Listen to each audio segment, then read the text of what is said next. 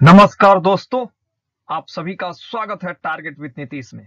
आशा करता हूँ कि आप सभी अच्छे होंगे और कोरोना महामारी से कैसे बचाव करना है, इसके प्रति सजग और जागरूक होंगे। आज के इस एपिसोड में हम BPSC previous year question papers में पिछले 28 वर्षों के दौरान नेशनल मोमेंट से जो प्रश्न पूछे जा चुके हैं, उन्हीं प्रश्नों पर हम चर्चा करेंगे। इन प्रश्नों की जब चर्चा की जाएगी तो इस बात का पूरा ख्याल रखा जाएगा कि प्रत्येक प्रश्न को इतना विस्तृत ढंग से चर्चा किया जाए, उसके बैकग्राउंड को बताया जाए, कुछ उससे जुड़े महत्वपूर्ण तथ्य को बताया जाए, ताकि आने वाले समय में जो भी प्रश्न इस प्रकार के बने, चाहे घुमा फिरा कर बने, चाहे कैसा भी बनाया जाए बीपीएससी के द्वारा या किसी अन्य आयोग के द्वारा, उसमें आपको हल करने में कोई परेशानी न हो। तो आइए शुरू करते हैं आज का ये महत्वपूर्ण भाग। मेरा नाम है नीतीश कुमार। इस समय बिहार और देश के विभिन्न क्षेत्र बाढ़ की समस्या का सामना कर रहे हैं। बाढ़ की स्थिति में लोगों को कई कठिनाइयों का सामना करना पड़ता है। इस स्थिति में लोगों को समय रहते सुरक्षित जगह की तलाश कर लेनी चाहिए और अपने दस्तावेजों को किसी सुरक्षित जगह पर रखवा देना चाहिए और हर पल सजग और सतर्क रहना चाहिए, क्योंकि भारतीय नेता केवल फ़ोटो खिंचवाना जानते हैं बाढ़ के क्षेत्र में आकर। उसका कोई अस्थायी समाधान नहीं जानना चाहते हैं। तो इसलिए ज़रूरी है कि आप ही सजग और सतर्क रहिए। तो आइए शुरू करते हैं। पहला प्रश्न है, आज़ाद हिंद सरकार के निर्माण की घोषणा कब की गई? ऑप्शन ए है 26 जनवरी 1930 को। ऑप्शन बी है 8 अगस्त 1942 को, ऑप्शन सी है 21 अक्टूबर 1943 को, और ऑप्शन डी है 18 फरवरी 1946 को। जो रास बिहारी बोस हैं, उन्होंने टोक्यो में एक सम्मेलन का आयोजन किया, जिसमें भारतीय राष्ट्रीय सेना, यानी कि आज़ाद हिंद फौज के गठन का निर्णय किया गया। आज़ाद हिंद फौज में प्रमुख रूप से भारतीय सैनिक थे, जिन्होंने सिंगापुर के पतन के पश्चात जापानी सेनाओं के समक्ष आत्मसमर्पण कर दिया था। 7 जुलाई 1943 को रास बिहारी बोस ने आज़ाद हिंद फौज की कमान सुभाष चंद्र बोस को सौंप दी। 21 अक्टूबर 1943 को सुभाष चंद्र बोस ने सिंगापुर में स्वतंत्र भारत के अस्थायी सरकार का गठन कर आज़ाद हिंद सरकार के निर्माण की घोषणा की। यहाँ प्रश्न था, आज़ाद हिंद सरकार के निर्माण की घोषणा कब की गई? तो 21 अक्टूबर 1943 को सुभाष चंद्र बोस ने सिंगापुर में स्वतंत्र भारत के अस्थायी सरकार के गठन कर आज़ाद हिंद सरकार के निर्माण की घोषणा कर दी। तो क्वेश्चन नंबर वन का सही उत्तर हो जाएगा सी 21 अक्टूबर 1943 को। अगर प्रश्न आता कि इंडियन नेशनल आर्मी, यानी कि आज़ाद हिंद फौज की स्थापना किस वर्ष हुई तो इसका सही उत्तर होता मार्च 1942 में रास बिहारी बोस के नेतृत्व में। अगर प्रश्न आता कि आज़ाद हिंद फौज का पुनर्गठन किसके द्वारा किया गया तो इसका सही उत्तर होता सुभाष चंद्र बोस। यह भी प्रश्न आ सकता है कि रास बिहारी बोस ने आज़ाद हिंद फौज की कमान किसे सौंपी और कब सौंपी? तो रास बिहारी बोस ने आज़ाद हिंद फौज की कमान सुभाष चंद्र बोस को सौंपी थी। कब सौंपी थी? 7 जुलाई 1943 को। इसके बाद ही 21 अक्टूबर 1943 को सुभाष चंद्र बोस ने सिंगापुर में आज़ाद हिंद सरकार के निर्माण की घोषणा कर दी थी। तो क्वेश्चन नंबर वन का सही उत्तर हो जाएगा सी, अगला प्रश्न। 1943 में आज़ाद हिंद फौज अस्तित्व में आई। ऑप्शन ए है जापान में, ऑप्शन बी है तत्कालीन बर्मा में, ऑप्शन सी है सिंगापुर में और ऑप्शन डी है तत्कालीन मलाया में। जून 1942 में रास बिहारी बोस ने बैंकांक में भारतीय स्वतंत्रता लीग का एक सम्मेलन बुलाया। बैंकांक सम्मेलन में सुभाष चंद्र बोस को जापान आने का निमंत्रण भेजा गया। वे जून 1943 में जापान की राजधानी टोक्यो पहुँचे। अगर बात की जाए कि आज़ाद हिंद फौज की स्थापना का विचार किसके मन में सबसे पहले आया था तो आज़ाद हिंद फौज की स्थापना का विचार सर्वप्रथम ब्रिटिश भारतीय सेना के अधिकारी कैप्टन मोहन सिंह के दिमाग में आया था। सितंबर 1942 में आज़ाद हिंद फौज के पहले डिवीज़न का गठन किया गया था और जुलाई 1943 में सुभाष चंद्र बोस टोक्यो से जो है सिंगापुर पहुँचे, जहाँ इन्हों, इन्हें आज़ाद हिंद फौज का सर्वोच्च सेनापति घोषित कर दिया गया, यानी कि सुप्रीम कमांडर घोषित कर दिया गया। 21 अक्टूबर 1943 को सुभाष चंद्र बोस ने स्वतंत्र भारत के अंतरिम सरकार की गठन की, यानी कि आज़ाद हिंद सरकार का गठन किया इन्होंने। अगर बात की जाए कि सुभाष चंद्र बोस ने, तुम मुझे खून दो, मैं तुम्हें आज़ादी दूँगा का नारा कब दिया? तो जुलाई 1943 में सुभाष चंद्र बोस जब सिंगापुर पहुँचे तो जब इन्हें आज़ाद हिंद फौज का सर्वोच्च सेनापति घोषित कर दिया गया तो उसके बाद जब वे सैनिकों का आह्वान कर रहे थे तो उसी समय उन्होंने कहा कि तुम मुझे खून दो, मैं तुम्हें आज़ादी दूँगा। सुभाष चंद्र बोस ने 21 अक्टूबर 1943 को सिंगापुर में भारत की अस्थायी सरकार की स्थापना की तथा रंगून को मुख्यालय बनाया गया। तो यहाँ प्रश्न था कि 1943 में आज़ाद हिंद फौज कहाँ अस्तित्व में आई? तो आप देख रहे हैं कि जुलाई 1943 में सुभाष चंद्र बोस सिंगापुर पहुँचे हैं, जहाँ इन्हें आज़ाद हिंद फौज का सर्वोच्च सेनापति घोषित किया जा रहा है। और जिसके बाद जो है, सुभाष चंद्र बोस 1943 में आज़ाद हिंद फौज का पुनर्गठन करेंगे। तो यहाँ प्रश्न था 1943 में आज़ाद हिंद फौज अस्तित्व में आई तो इसका सही उत्तर हो जाएगा सी, सिंगापुर में।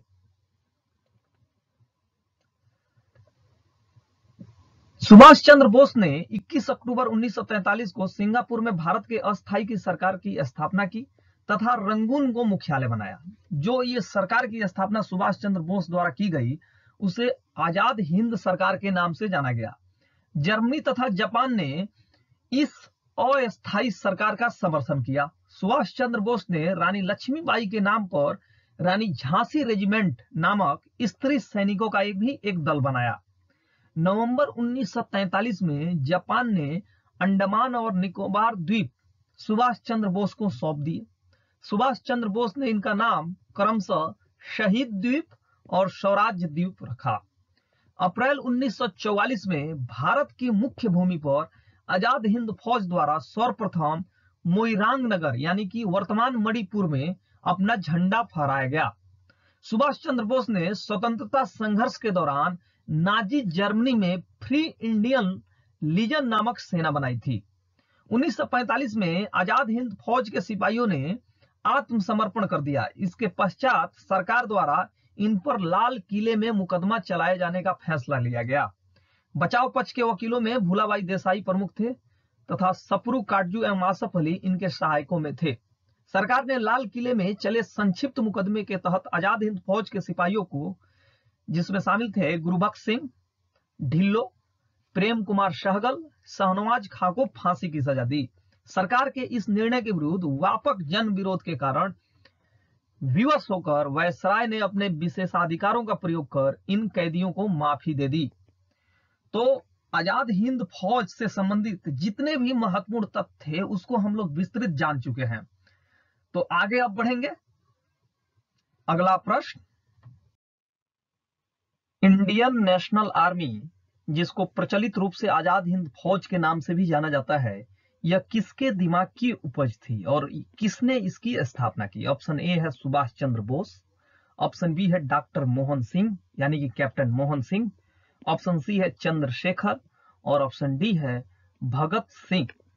इसके पहले प्रश्न में हम यह डिस्कस कर चुके हैं कि आज़ाद हिंद फौज की स्थापना का विचार सर्वप्रथम कैप्टन मोहन सिंह के मन में आया था। वे ब्रिटेन की भारतीय सेना में अफसर थे। जब ब्रिटिश सेना पीछे हट रही थी तो मोहन सिंह जापानियों के साथ हो गए। जापानियों ने जब भारतीय युद्ध बंदियों को मोहन सिंह को सौंप दिया तो उनमें से ही लोगों को चुन चुनकर आज़ाद फौज में शामिल करने लगे। और सितंबर 1942 में आज़ाद हिंद फौज के पहले डिवीज़न का गठन उन्होंने किया। तो इंडियन नेशनल आर्मी, जिसको प्रचलित रूप से आज़ाद हिंद फौज के नाम से भी जाना जाता है यह किसके दिमाग की उपज थी और इसकी स्थापना किसने की? तो डॉक्टर मोहन सिंह के दिमाग की उपज थी।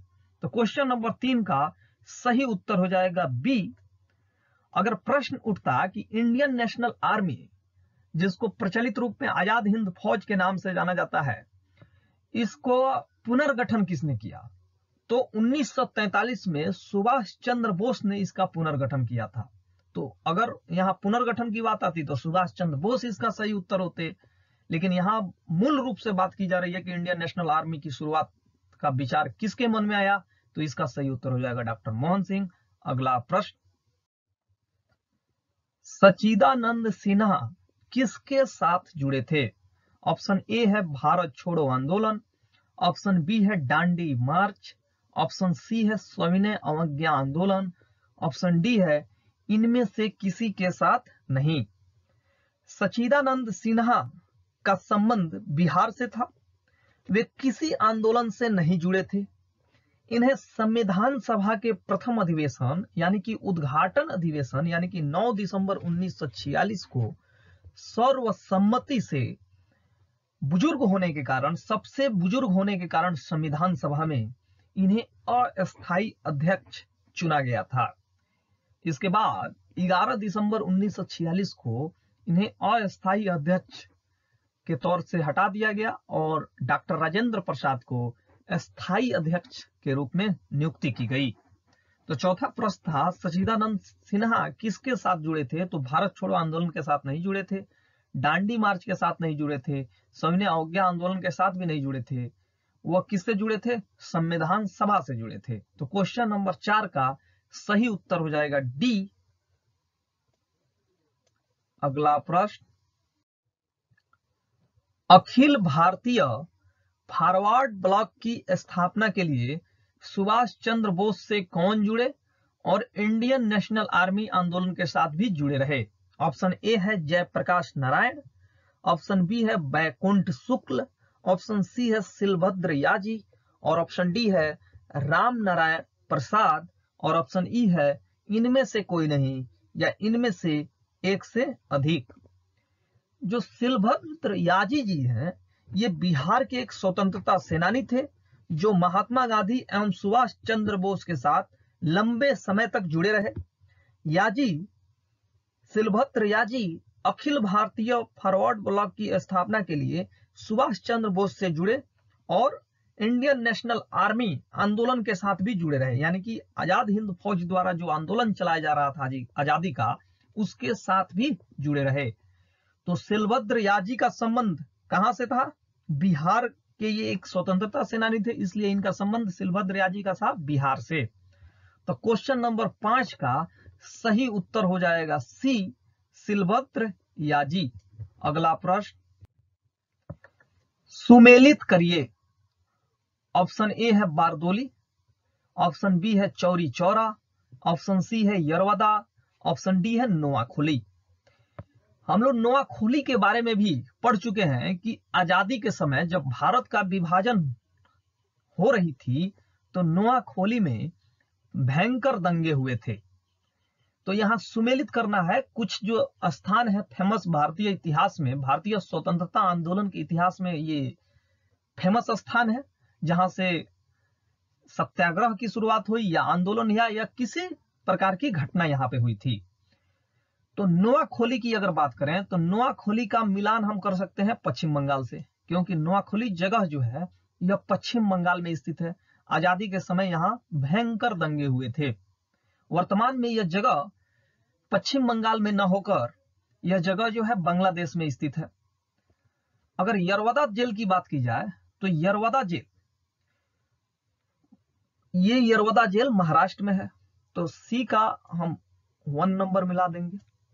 और चौरी चौरा जो जगह है वह उत्तर प्रदेश में है। आपको याद होगा कि 5 फरवरी 1922 को चौरी चौरा में हिंसक घटना हुई थी, जिसमें 22 पुलिसकर्मी जो है जला दिए गए थे क्रांतिकारियों द्वारा।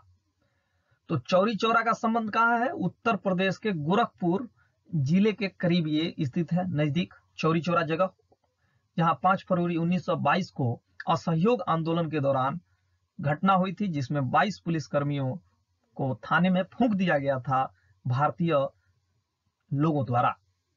तो चौरी चौरा उत्तर प्रदेश संबंध है और बारदोली सत्याग्रह का नाम सुन चुके होंगे आप। बारदोली सत्याग्रह का संबंध जो है, वह गुजरात से है, जिससे कौन जुड़ा हुआ है? इससे जुड़े हुए हैं सरदार वल्लभ भाई पटेल। यहाँ किसान आंदोलन हुआ था, किसान सत्याग्रह हुआ था। तो आप देख रहे हैं कि बारदोली का संबंध गुजरात से है। तो कुट यहाँ मिलाना है। तो आप देख रहे हैं ए का संबंध दो से है, बी का संबंध फोर से है। तो ए का संबंध दो से, बी का फोर से, और सी का संबंध जो है वन से है। तो सी का संबंध वन से, और डी का संबंध किससे है? थ्री। यानी कि पश्चिम बंगाल से तो क्वेश्चन नंबर छह का सही उत्तर हो जाएगा सी अगला प्रश्न। कैबिनेट मिशन भारत कब आया? ऑप्शन ए है फरवरी 1942 ऑप्शन बी है मार्च 1942 ऑप्शन सी है अप्रैल 1942 ऑप्शन डी है मई 1942 और ऑप्शन ई e है इनमें से कोई नहीं या इनमें से एक से अधिक। कैबिनेट मिशन 24 मार्च 1946 को दिल्ली आया था। इसके अध्यक्ष लॉर्ड पैथिक लॉरेंस थे, जो तत्कालीन भारतीय सचिव थे। और अन्य जो सदस्य इसमें शामिल थे, उनका नाम है स्टैडफोर्ड क्रिप्स, जो बोर्ड ऑफ़ ट्रेड का ब्रिटेन में अध्यक्ष थे, और एवी अलेक्जेंडर ब्रिटेन के नौसेना मंत्री थे। तो यहाँ पे प्रश्न ये भी बन सकता है कि कैबिनेट मिशन भारत कब आया था? ये तो बनेगा ही कि मार्च 24 मार्च 1946 को भारत आया था। प्रश्न ये भी बन सकता है कि कैबिनेट मिशन में कुल कितने सदस्य थे? तो आप बोलेंगे तीन सदस्य थे। कैबिनेट मिशन की अध्यक्षता किसने की? तो लॉर्ड पैथिक लॉरेंस ने की थी, जो तत्कालीन भारतीय सचिव थे। प्रश्न ये भी उठ सकता है कि स्टैंड फोर्ड क्रिप्स जो हुआ थे वह किसके अध्यक्ष थे? तो बोर्ड ऑफ़ ट्रेड के अध्यक्ष थे। और यह भी प्रश्न बनता रहा है कि जो क्रिप्स मिशन में शामिल सदस्य, ए बी अलेक्जेंडर, किस पद पे उस समय थे? तो नौ सेना मंत्री थे। तो प्रश्न संख्या सात का सही उत्तर हो जाएगा ई। इनमें से कोई नहीं, क्योंकि कैबिनेट मिशन भारत में 24 मार्च 1946 को दिल्ली आया था। अगला प्रश्न कैबिनेट मिशन की अध्यक्षता किसके द्वारा की गई? ऑप्शन ए है लॉर्ड एटली, ऑप्शन बी है Stafford Cripps, option C है क्लिमेंट एटली, ऑप्शन डी है sir P Lawrence. Cabinet mission की अध्यक्षता हम लोग पढ़ चुके हैं कि लॉर्ड पैथिक लॉरेंस ने की थी, जो तत्कालीन भारतीय सचिव थे।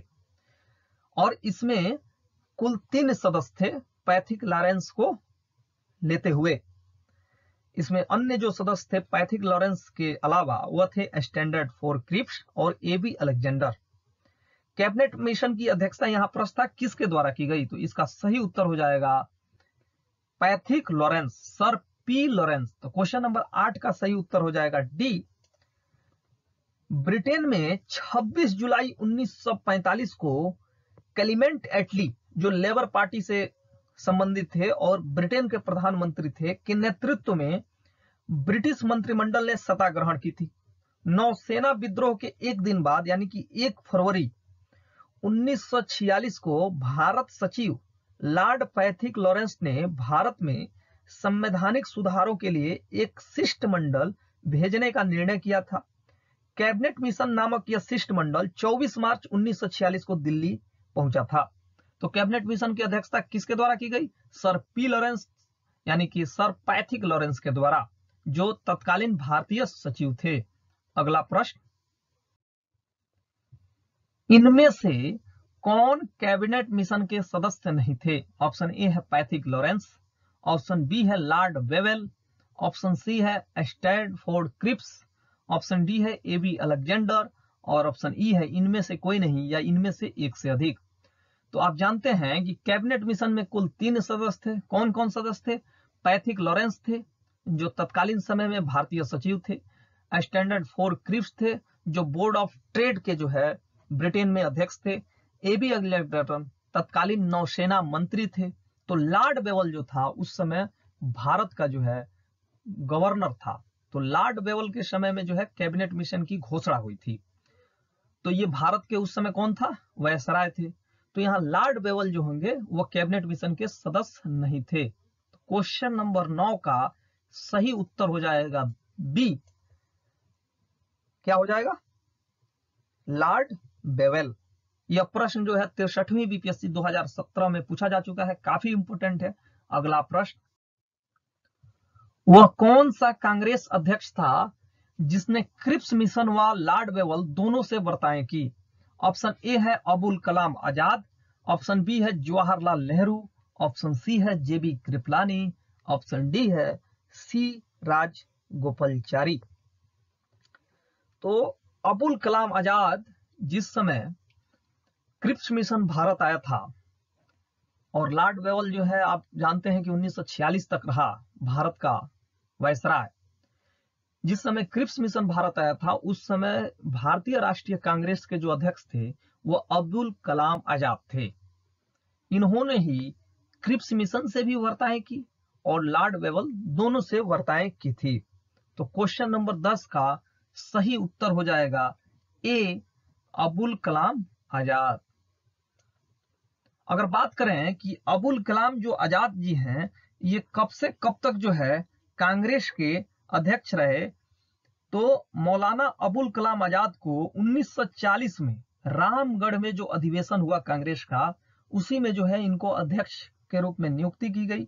और ये जो है अक्टूबर 1946 तक भारतीय राष्ट्रीय कांग्रेस के अध्यक्ष रहे। और इनके नाम भारतीय राष्ट्रीय कांग्रेस का अध्यक्ष रहने का सबसे लंबा रिकॉर्ड है, यानी कि सबसे लंबे समय तक भारतीय राष्ट्रीय कांग्रेस के अध्यक्ष कौन रहे, अगर प्रश्न पूछा जाए तो इसका सही उत्तर होगा मौलाना अबुल कलाम आज़ाद। लगातार छह वर्षों तक लगभग ये इंडियन नेशनल कांग्रेस के अध्यक्ष बने रहे। अगर बात की जाए जवाहरलाल नेहरू के बारे में तो जवाहरलाल नेहरू द्वारा फैजपुर 1937 में और 1936 में लखनऊ अधिवेशन की अध्यक्षता की गई थी।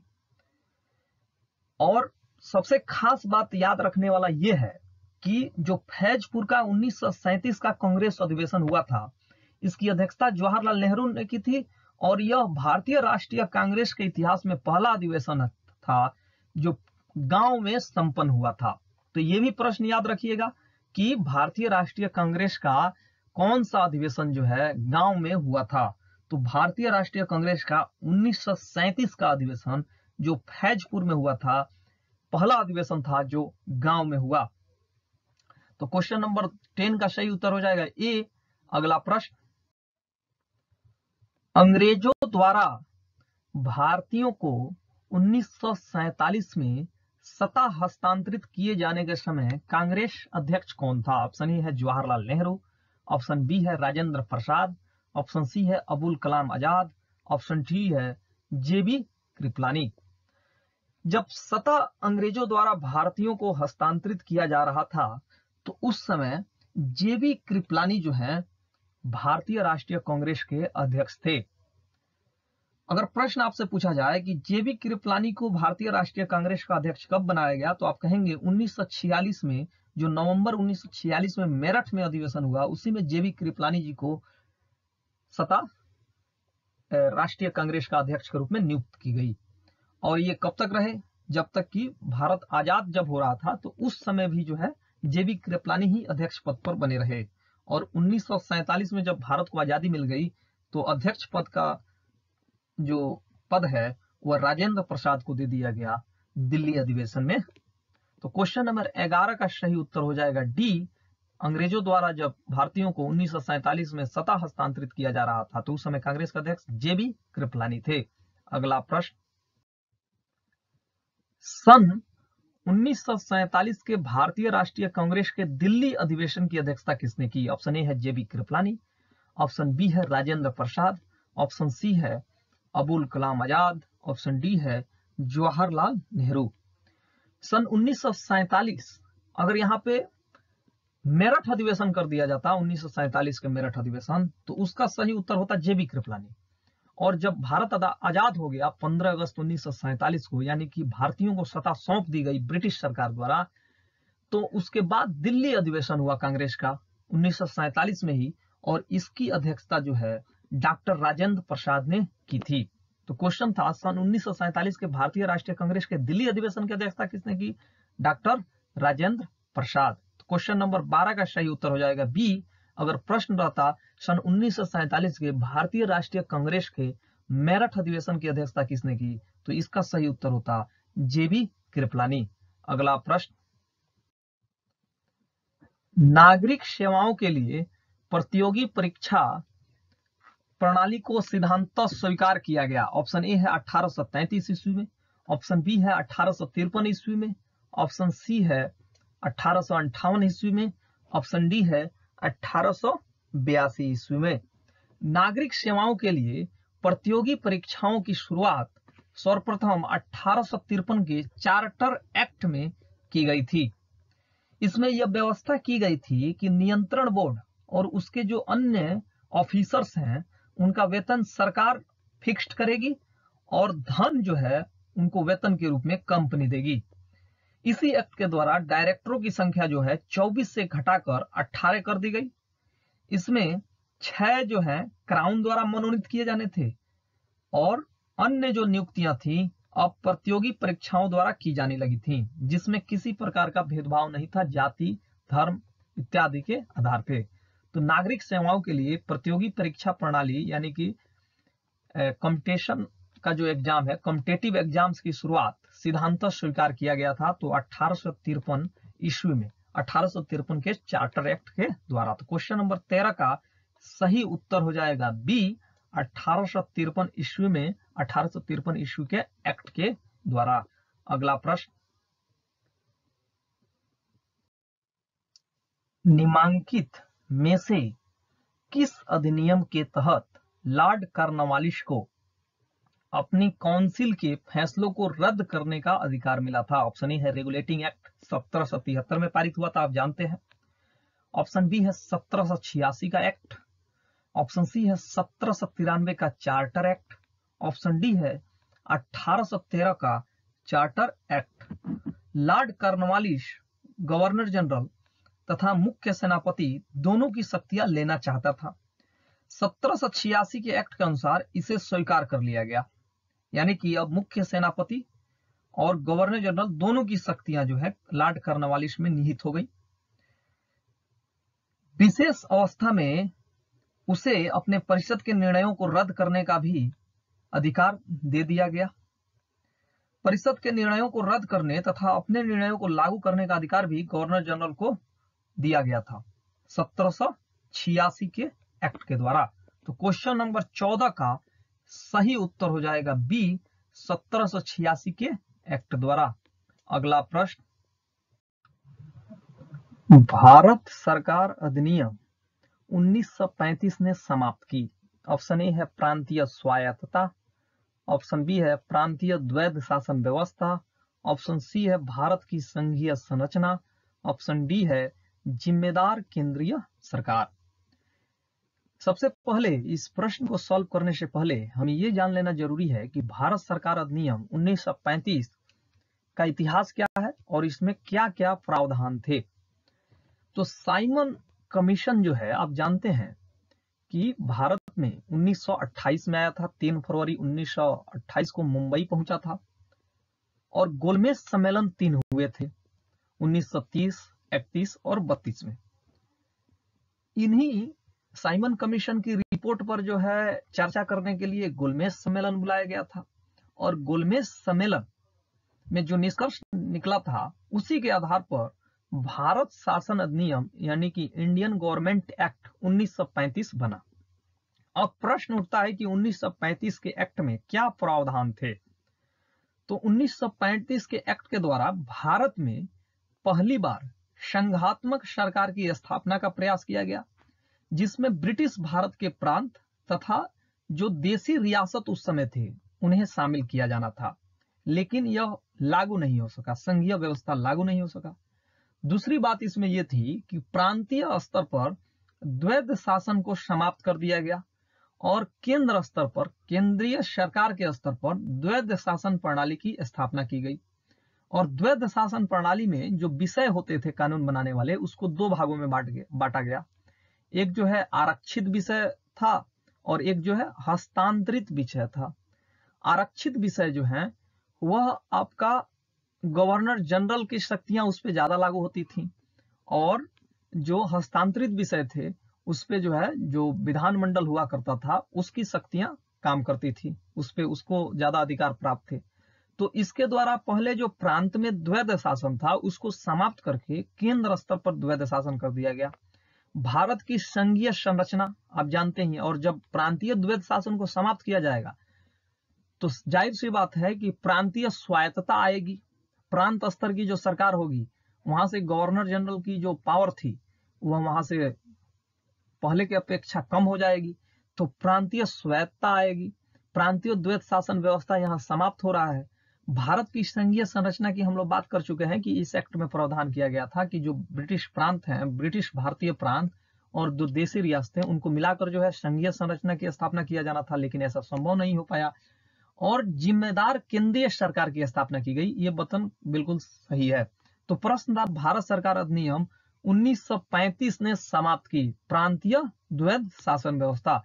तो क्वेश्चन नंबर 15 का सही उत्तर हो जाएगा, बी प्रांतीय द्वैध शासन व्यवस्था को समाप्त की और केंद्रीय द्वैध शासन व्यवस्था की शुरुआत की। अगला प्रश्न। अमेरिका में फ्री हिंदुस्तान अखबार किसने शुरू किया था? ऑप्शन ए है रामनाथ पुरी, ऑप्शन बी है जीडी कुमार, ऑप्शन सी है लाला हृदया लाल ऑप्शन डी है तारकनाथ दास। अमेरिका में एक जगह है बैंकुअर यहीं पे फ्री हिंदुस्तान अखबार की शुरुआत तारकनाथ दास ने किया था। इसके माध्यम से वे सामाजिक सुधारों से संबंधित आवाज़ उठाते थे और वर्ष 1910 में भारतीय सेना से अंग्रेज़ों के खिलाफ विद्रोह का आह्वान जो है इस अखबार से किया गया था। तो अमेरिका में फ्री हिंदुस्तान अखबार किसने शुरू किया था? तो इसका सही उत्तर हो जाएगा तारकनाथ दास। क्वेश्चन नंबर 16 का सही उत्तर हो जाएगा डी, अगला प्रश्न। इंडियन अनरेस्ट को लेखक कौन था? ऑप्शन ए है Dadabhai Naoroji, option B है एनी बसेंट ऑप्शन सी है लाला लाजपत राय, ऑप्शन डी है वेलेंटाइन सिरोल। इंडियन अनरेस्ट का लेखक वेलेंटाइन सिरोल थे। इन्होंने ही बाल गंगाधर तिलक को भारत में अशांति का जनक, यानी कि इंडियन अनरेस्ट का जनक इन्होंने बाल गंगाधर तिलक को कहा था। तिलक ने इस पर वेलेंटाइन सिरोल के खिलाफ मनहानि का मुकदमा दर्ज किया था। तो इंडियन अनरेस्ट का लेखक कौन था? वेलेंटाइन सिरोल तो क्वेश्चन नंबर सत्रह का सही उत्तर हो जाएगा डी। अगला प्रश्न। उपन्यास, दुर्गेश नंदिनी के लेखक कौन थे? ऑप्शन ए है रविंद्रनाथ टैगोर, ऑप्शन बी है तारकनाथ गंगोपाध्याय, ऑप्शन सी है स्वर्ण कुमारी, ऑप्शन डी है बकीम चंद्र चटर्जी। दुर्गेश नंदिनी जो उपन्यास था, उसके लेखक बकीम चंद्र चटर्जी थे। अठारह सौ पैंसठ ईस्वी में यह उपन्यास लिखा गया था। और यह अठारह ईस्वी में लिखा गया उनके द्वारा पहला उपन्यास था। इसके अंतरिक्त उन्होंने आनंद मठ राज सिंह विप्र, वृक्ष जैसे उपन्यास लिखकर बांग्ला साहित्य को एक नई दिशा दी। आनंद मठ से आप परिचित होंगे। इसी में जो है, सर्वप्रथम भारत का जो राष्ट्रीय गीत है वंदे मातरम, उसको इसी में लिखा गया था और यहीं से जो है राष्ट्रीय गीत भारत का लिया गया है। आनंद मठ। आनंद मठ किसकी रचना है? बकीम चंद चटर्जी की। दुर्गेश नंदनी किसकी रचना है? बकीम चंद चटर्जी की। अगर गीतांजलि की बात की जाए तो इसमें जनगण मनगण इससे लिया गया है और ये जो रचना है, वह आपकी रविन्द्रनाथ टैगोर की है। तो क्वेश्चन नंबर 18 का सही उत्तर हो जाएगा डी। अगला प्रश्न। निम्नलिखित में से किस अखबार का प्रकाशन पटना से होता था? ऑप्शन ए है इंडियन नेशन, ऑप्शन बी है पंजाब केसरी, ऑप्शन सी है प्रभाकर और ऑप्शन डी है डॉन। वर्ष 1931 में दरभंगा के महाराज कामेश्वर सिंह ने द इंडियन नेशन की शुरुआत की थी। तो यहाँ प्रश्न था कि निम्नलिखित में से किस अखबार का प्रकाशन पटना से होता था तो इसका सही उत्तर हो जाएगा ए, इंडियन नेशन। यह अखबार जो है दरभंगा से शुरू हुआ था, लेकिन इसका प्रकाशन पटना से भी होता था। इस प्रकार क्वेश्चन नंबर 19 का सही उत्तर हो जाएगा ए, अगला प्रश्न। 1908 ईस्वी में बाल गंगाधर तिलक को कितने वर्ष की जेल हुई? ऑप्शन ए है पाँच वर्ष की, ऑप्शन बी है छह वर्ष की, ऑप्शन सी है सात वर्ष की, और ऑप्शन डी है आठ वर्ष की। वर्ष 1908 ईस्वी में तिलक को सरकार के खिलाफ भड़काने वाले लेख लिखने के लिए गिरफ़्तार कर लिया गया था और उनके खिलाफ राजद्रोह का मुकदमा दायर किया। जूरी के दो सदस्य जो भारतीय थे, उन्होंने असहमति व्यक्त किया। तिलक को जब जजमेंट दिया जा रहा था तिलक के खिलाफ, लेकिन इसके बावजूद तिलक को अपराधी ठहराया गया और छह वर्ष की सजा सुनाई गई और इन्हें बर्मा के जेल रंगून भेज दिया गया बाल गंगाधर तिलक को। बर्मा के मांडले जेल में भेज दिया गया। रंगून नहीं, बर्मा के मांडले जेल में। तो क्वेश्चन नंबर 20 का सही उत्तर हो जाएगा बी, छह वर्ष की। तो दोस्तों, ये रहा आज का महत्वपूर्ण भाग। आशा करता हूँ कि आपको इस एपिसोड के माध्यम से जो 20 प्रश्न डिस्कस किए गए हैं पूरी व्याख्या के साथ, उससे काफ़ी लाभ हो रहा होगा। और आने वाले समय में किसी भी राज्य के आयोग द्वारा जो भी परीक्षाएँ आयोजित की जाएँगी, उसमें आपको सफलता ज़रूर मिलेगी। ऐसे एपिसोड से चाहूँगा इजाज़त, लेकिन इजाज़त लेने से पहले, यदि अभी तक आपने टारगेट विद नीतीश को सब्सक्राइब नहीं किया है तो ज़रूर सब्सक्राइब करें, ताकि मैं किसी रुकावट के आपके लिए वीडियो लाता रहूँ। दीजिए इजाज़त, नमस्कार। सुविधा मिलते हैं कल।